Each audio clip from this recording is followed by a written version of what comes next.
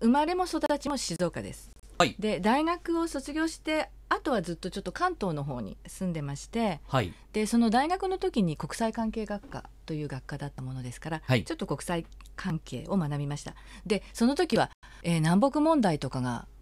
年が分かっちゃいますけれども、い。ちょっと主流でしてそれで、あのそこで NGO とかあの国際関係のこととか興味持つようになりまして、はい。で関西の方であ関ごめんなさい関東の方で、えー国際交流協会の運営をたに携わったりあそれから、はいはい。あのユニセフの埼玉県支部と当時は言いましたが今はちょっとし組織が変わりまして埼玉県ユニセフ協会というふうになりましたけれどもそこでちょっと学習講師のボランティアなんかをしてたんですね。でへー。ちょっと縁があって静岡に戻ってまいりまして、はい。本当はユニセフの活動をしたいなと思いましたら静岡県にはユニセフ協会がありません。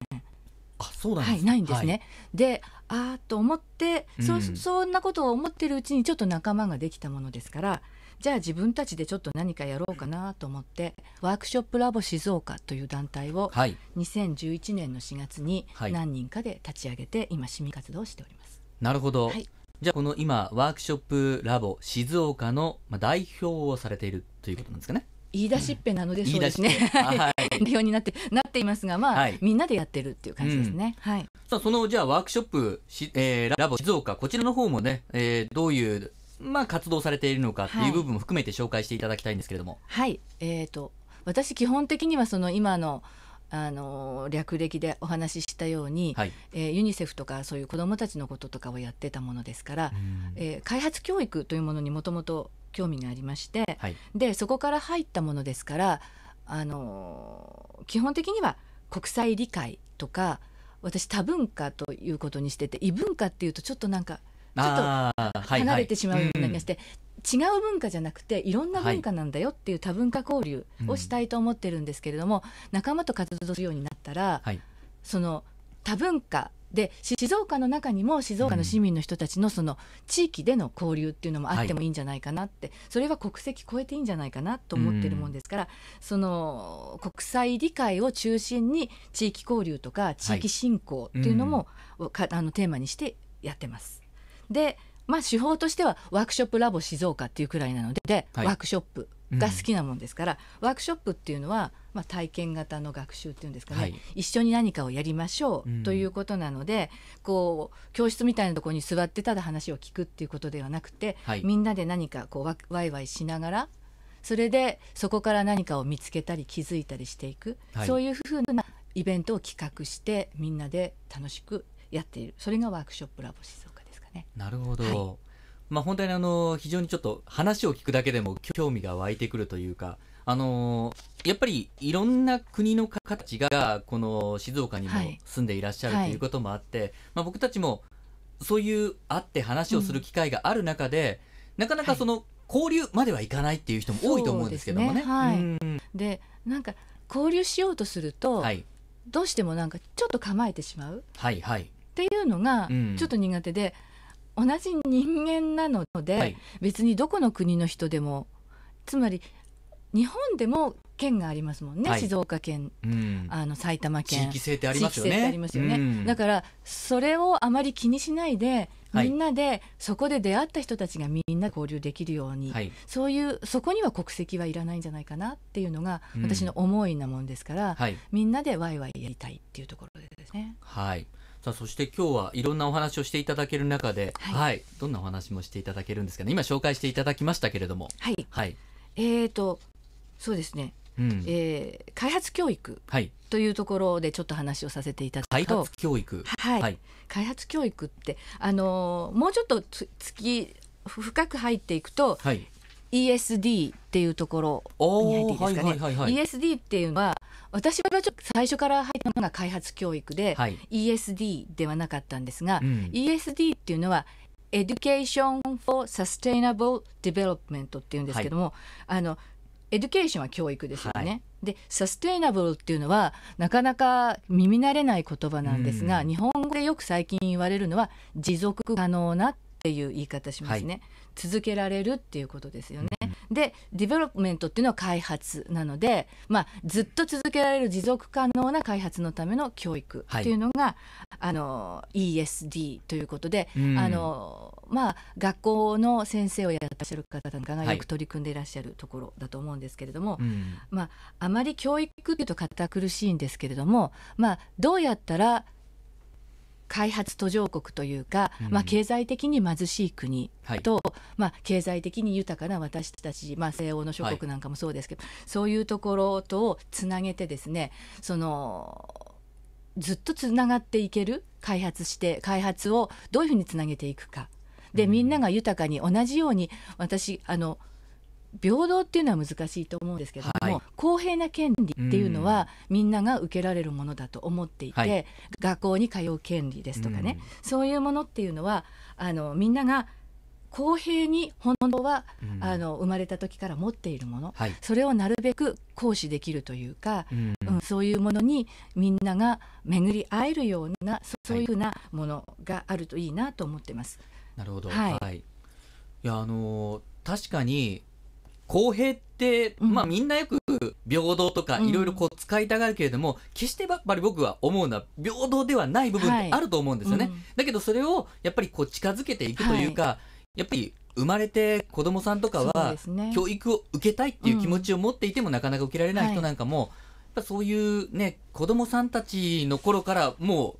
目指すものが閉ざされるっていうことはやっぱりなしにね、はい、してもらいたいと思いますしね。はい、そうですね、だから機会っていうかチャンスっていうのを生かすかどうかっていうのは、まあ、その人本人の,、あの力っていうのもあると思うんですけれども、やっぱり生まれるところは選べないっていうところがあって、生まれた時っていうのは生まれたところでそのチャンスをみんなに公平に与えられたらいいなと、はい、そうですね。で、うん、その生活が平等とかっていうのはちょっと難しいと思うので、はい、うん、そそこをちょっと考えながら、うん、このワークショップっていうのをやって、はい、みんなにそういうことを考えてもらえる機会が作れたらいいなと思ってます。なるほど、はい、ちなみに来年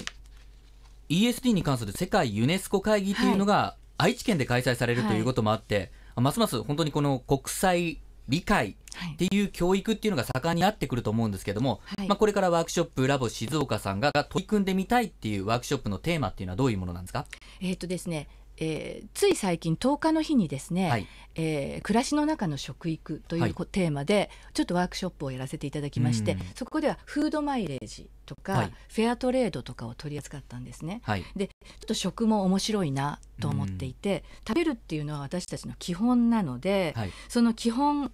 が割と普通の人にも親しみやすい基本なので、はい、そこをテーマにしてそのワークショップをやっていけたらいいかなと思ってます。で割とミニのワークショップをやることが多いものですから、はい、えーと、去年っていうか昨年度ですね24年度あ今年度ですね。24年だからね、はい、ワイワイキッチンって言ってちょっとあのお料理を食べながらその国の文化を勉強しようなんていうミニはい、ミニの講座をやったりしたもんですからね。あとあのフェアトレードの講座なんかもやったりしたので、はい、そういうミニのワークショップをいろいろやっていきたいなと思っています。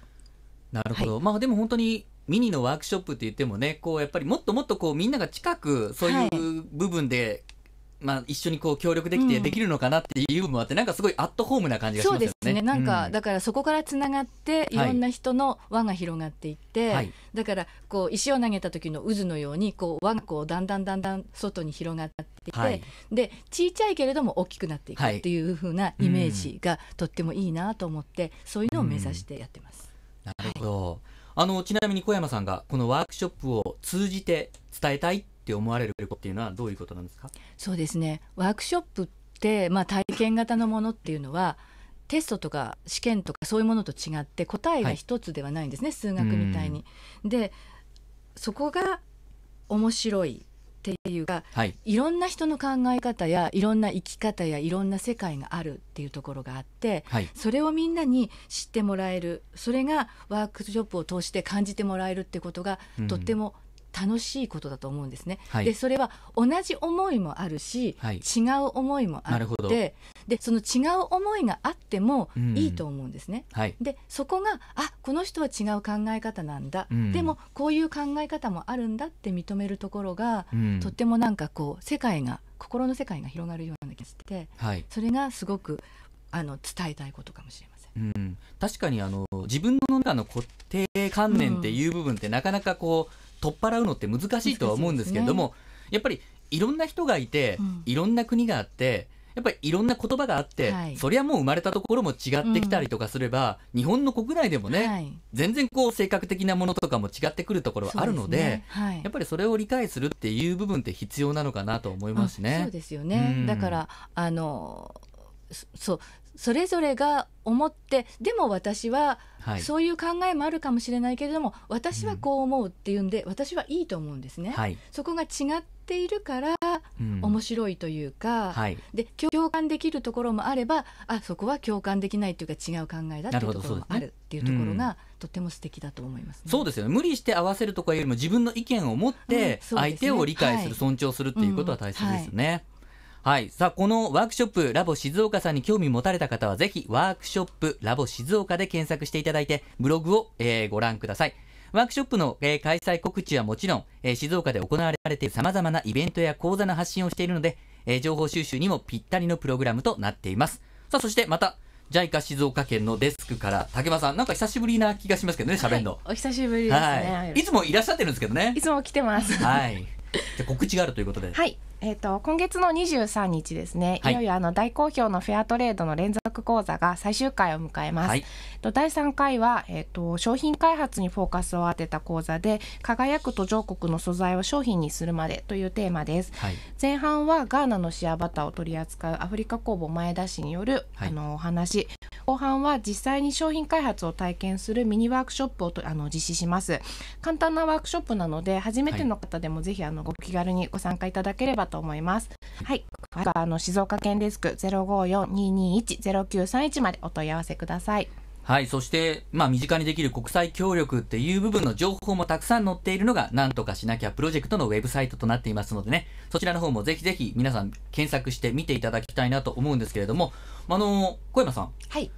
あの、海外の人と、はい。まあ、本当に交流を持つってはい。いうことの難しさと楽しさっていうのはどういうところなんですかね？まあ、難しさはやっぱり